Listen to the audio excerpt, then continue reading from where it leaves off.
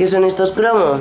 Es una tontería, pero me ha encantado, lo tengo que contar. Eh, la Asociación de Veteranos ha hecho una, un acto hoy que ha honrado a varias personas y lo que han hecho es una edición de Panini hablando de los jugadores. O sea, Magic Johnson, Jerry West, Bill Walton y James Worthy, estos cuatro han sido los nominados hoy de.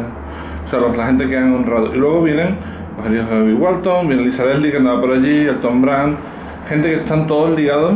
Eh, Paul Pierce, aunque sea de los Celtics, nació en Inglewood, que es eh, Los Ángeles.